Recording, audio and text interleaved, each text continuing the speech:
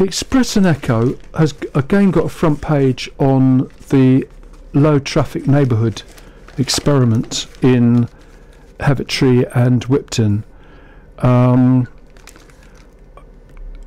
th- th- this is just a little bit of reality. I, I, I, live very close to Robinson's News, so I know I, I sort I, I look at North Street in Heavitree, and it seems to me that there is more traffic there than they used to be. Um, the story in the, in the Echo is is based on the meeting, which was a little while ago now, and it says that um, the Ladysmith road road traffic is reduced, but I I think that's because it's all coming out another another way out of the area.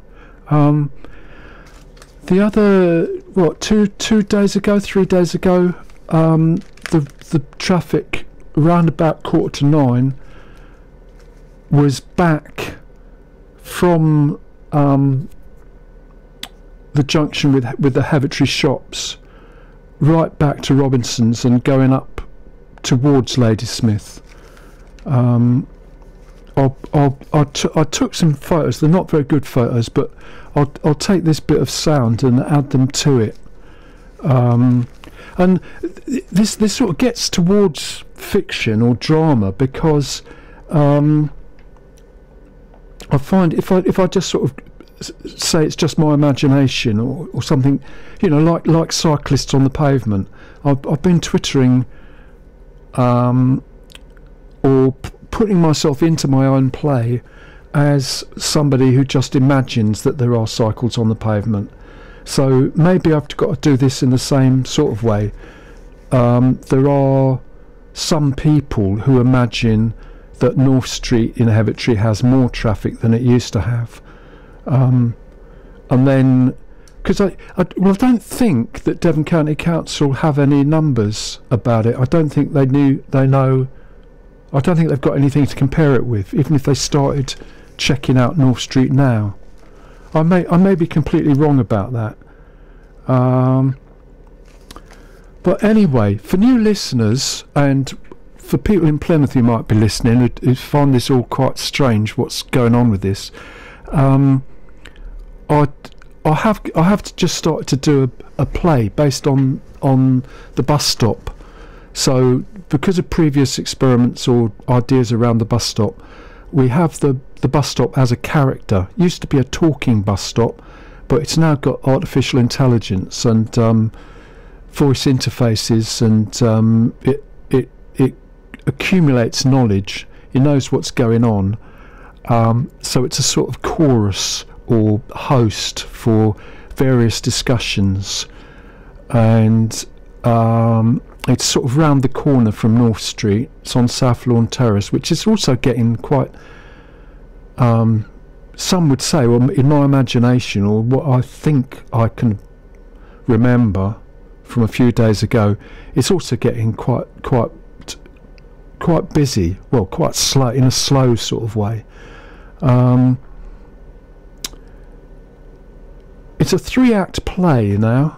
Uh, that's what I'm working on, working on. One is just a whole series of um, tense situations disjointed explanations, various ideas about what's going on.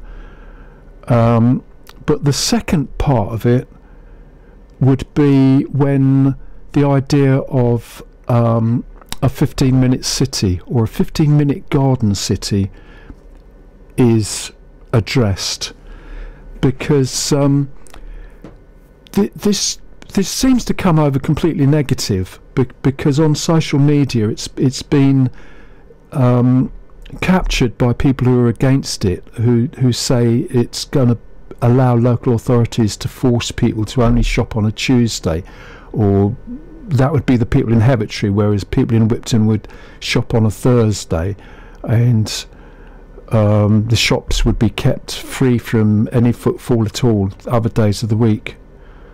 Um, th- th- there's all these sort of crazy ideas which crop up on social media, but actually, um, the 15 minute city is is a, it sounds like a very sensible idea, but it depends on there being resources. Uh, there's got to be local shops, and that's that's the bit that's that's quite missing.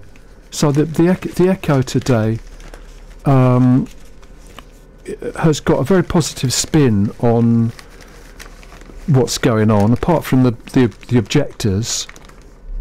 So they've got a photograph of the people who who have these stop the blocks and against LTNs, and then they've got this selection of very positive stats. Um, but there's no mention at all about the, the, the problems with the traders.